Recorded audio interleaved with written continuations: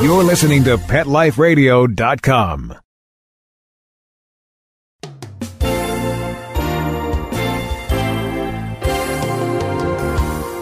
Victoria Schaefer, aspiring actress, babysitter extraordinaire, college student, and animal enthusiast, is on her own for the first time in New York City. Follow Victoria and her two dogs, Rue and Echo, as she cares for her furry friends and juggles home life and career, all the while managing to survive in the world's most hectic city. The exciting animal adventures and secret stories from both ends of the leash that make up the Tails of the City. Hey guys, it's Victoria Schaefer, your host of Tails of the City on Pet Life Radio. I'm here with Tom Leopold, a dear family friend and New York City based comedy writer, performer, and novelist. Hi, Tom. Thanks so much for being here with me today. Well, thanks for having me, Victoria. I'm thrilled to be on your show. Me too. So, for as long as I can remember, your family has been huge dog lovers. Oh, yeah. Gosh. what do you think? It's ridiculous. We had three, and you know Henry, my old boy, my Boston Terrier. We just Yes. just uh, went to heaven uh, about two weeks ago, and he was in pretty bad shape. But I know he's uh, up there passing gas like he was doing here up in heaven. And we still have our two Pomeranians, Skipper D and uh, Eloise. So you Yeah. know we're, we're not dogless, Definitely not. never. What do you think makes a dog lover? I think from it's a compassionate person, person who understands that the dog. I think dogs are like little angels. I think they're like D-list angels, you know, and they, they provide a great service. And if you're, you know, I don't, I'm not sure about cat people. I, I don't think that cats provide the same kind of not just affection, but almost like they add an extra sensory protective device to the family. I mean, they bark, they protect kids, they and anyone who's had dogs knows that every one of them is different as every kid is different, you know. And um, I just think you know it was meant to be that dogs became part of families. You know, it's uh, and I think it's a very natural thing. I think it was always meant to be, and it's uh, it's a joy. It's hard work sometimes, especially like you and I. We live in the city, and you know, Yeah, definitely. I'm in the same boat, yeah, the freezing cold. Especially with this guy. weather. Oh, I know. But these two little ones, they're both about four and a half, five pounds, so they can go on the pads, you know. But uh, they're members of the family, and you love them. Did you grow up with dogs? Yeah, we had a Schnauzer Perkins, all growing. he was great. I loved him very much.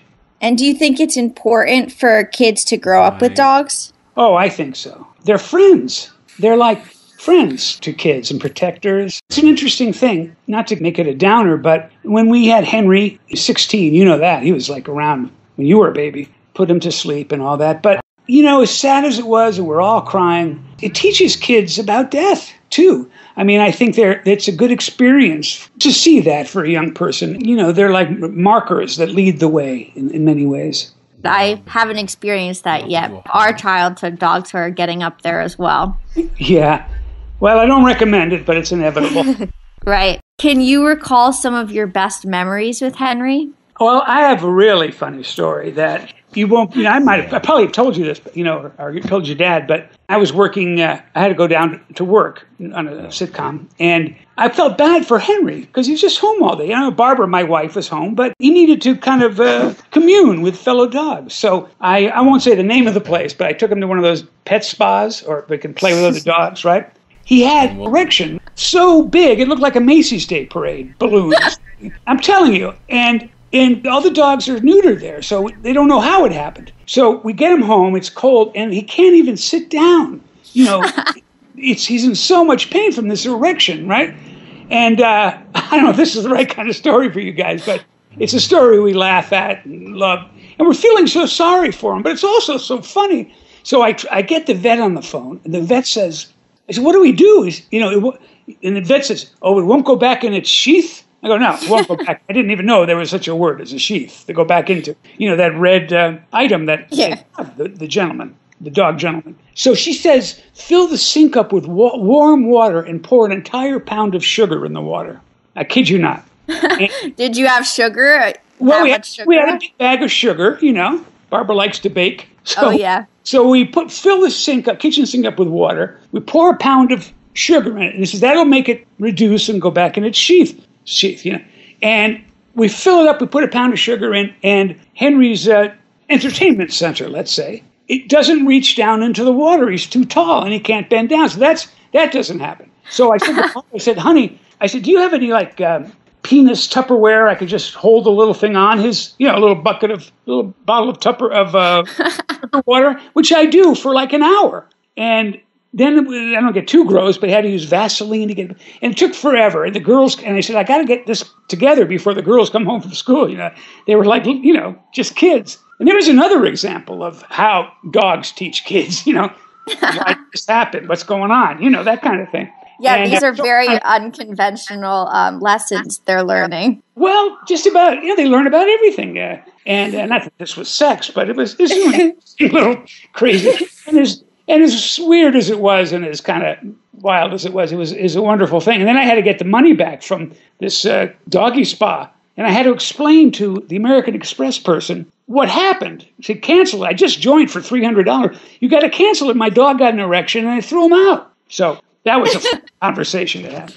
So that, that is definitely a funny story to tell. That was a really funny story, and uh, for us, it's it's one of our chestnuts, you know. But uh, let me see what you want. Just funny stories, or any other stories? Well, I'll tell you something that made me just fall desperately in love with my boy Henry right at the beginning.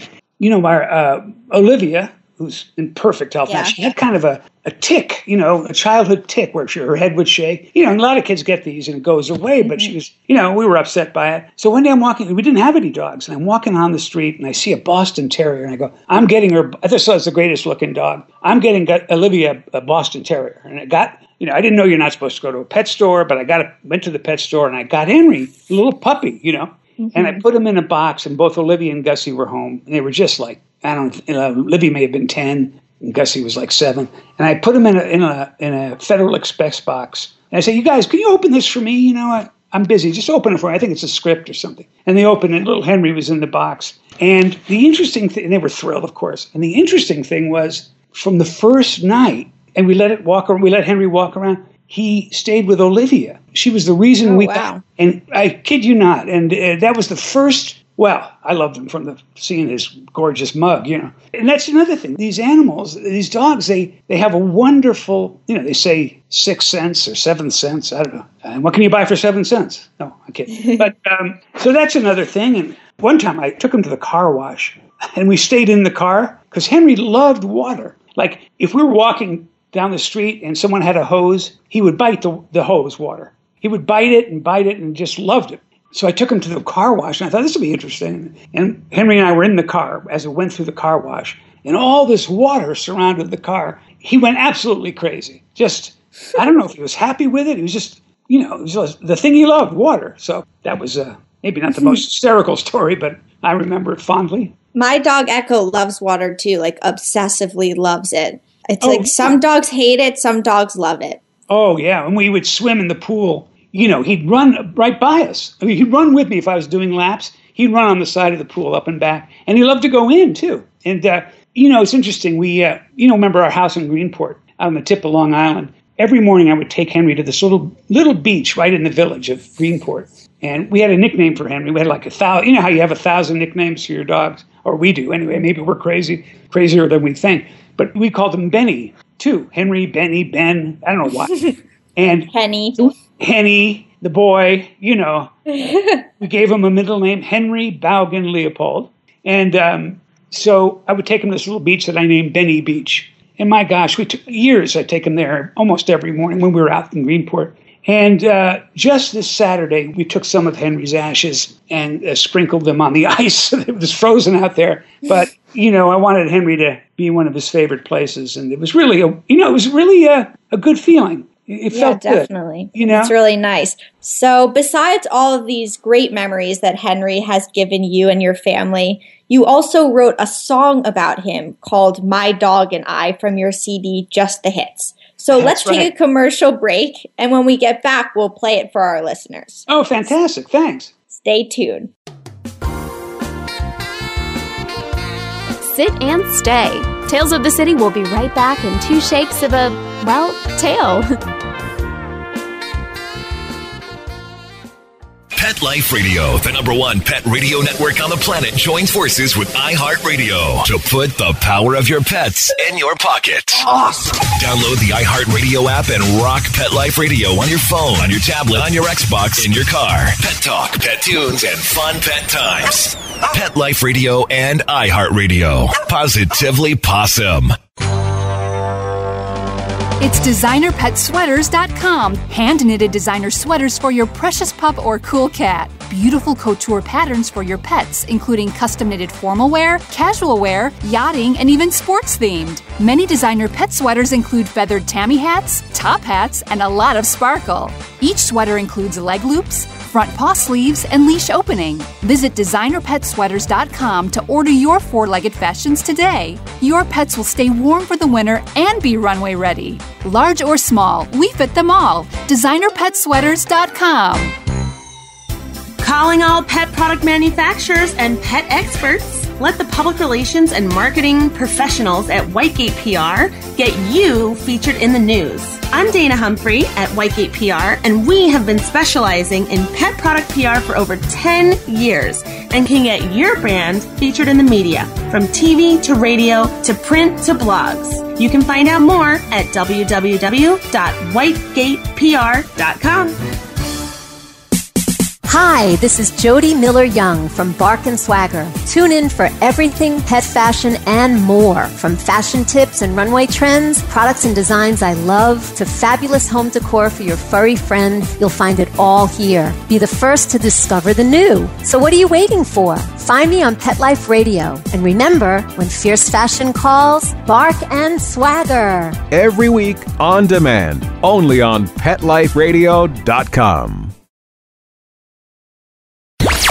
Let's talk pets Let's talk pets on Pet Life Radio. Pet Life Radio. PetLifeRadio.com.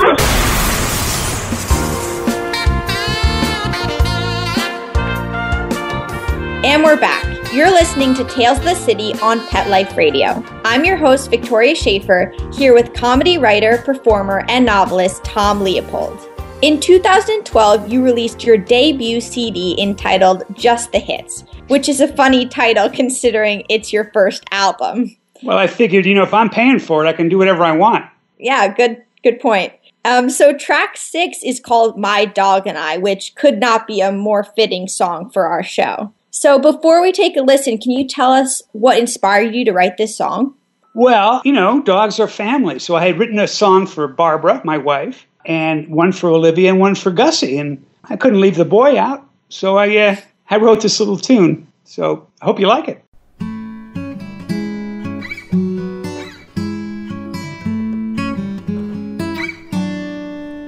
My dog and I go together like a jacket and tie. In stormy weather, you can't get us out the door. We'd rather lay there on the floor till the clouds roll by. My dog and I. And when I die, don't wanna go to heaven. What if up there on a cloud, a sign says no dogs allowed? That shit don't fly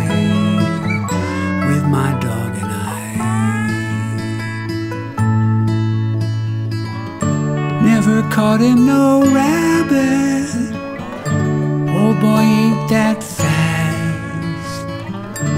got a nasty habit of snoring and passing gas. How I love him.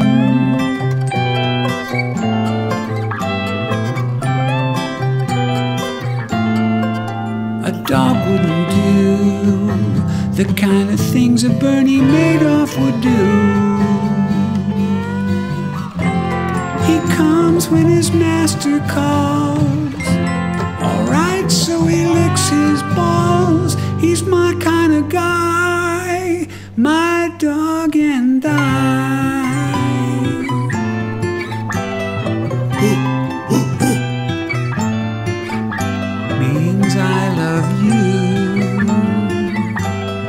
Henry, get down. No, no, not there. No, not there, Henry. Means I love you too.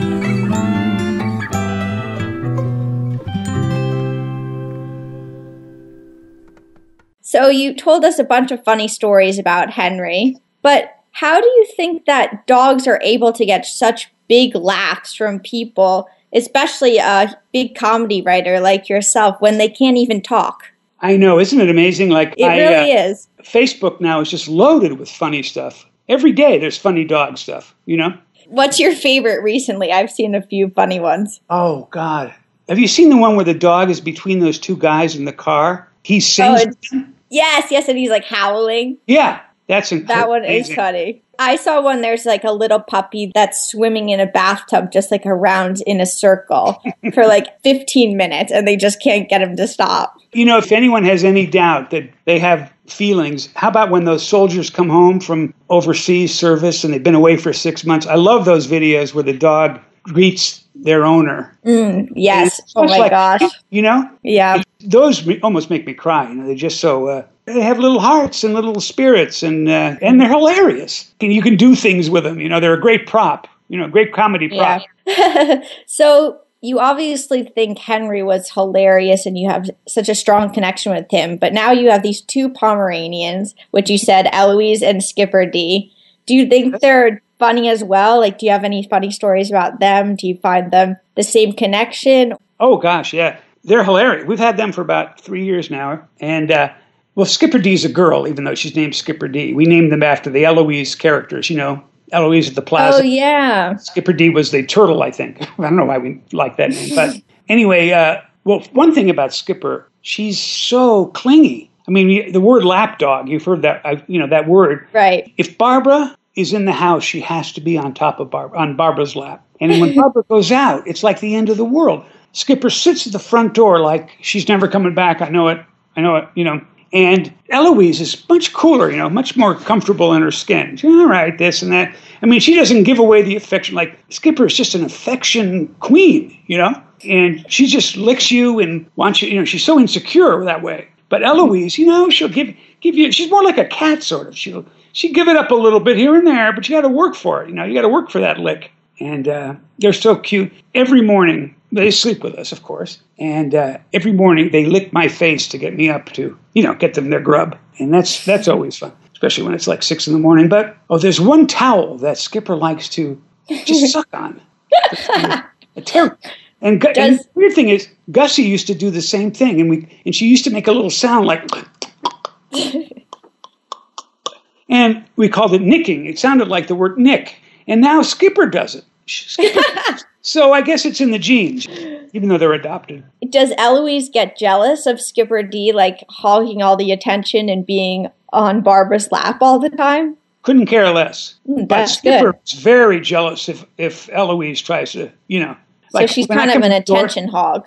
Yeah. And when I come in the door, or Barbara does, they both come to the door, but Skipper's faster because she's a little bit bigger. I kiss her, I get down on my knee and always, you know, get down to their level, which is pretty low. I'm getting a little old, so it's harder to get up. But whenever, then Eloise will catch up and come over to greet me too. And Skipper will just nudge her out of the way. So I have to like pick Eloise up. And it's all because Skipper's very needy. But then again, there you go. Like they're all, um, they all have different personalities.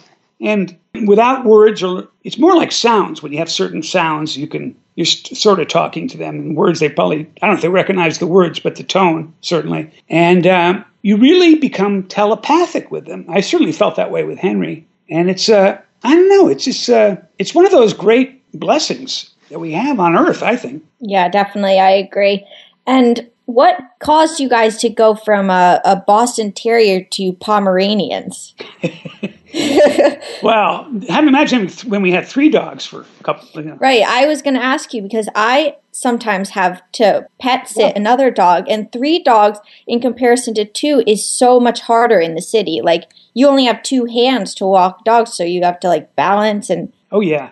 Well, you know, uh, it was interesting because Henry wasn't, you know, was really kind of old when we got these guys, Skipper and Eloise, and he was blind. This is an interesting and deaf, you know, more and more so as he got older. But he still could fart. You know how when you lose one sense, like if you lose your sight, your hearing gets better? Well, same with Henry. His gas got even more toxic. But. You know, he developed that sense. That was pretty much all that was left to him. But it was interesting to see these two little Pomeranians respect Henry's presence, you know?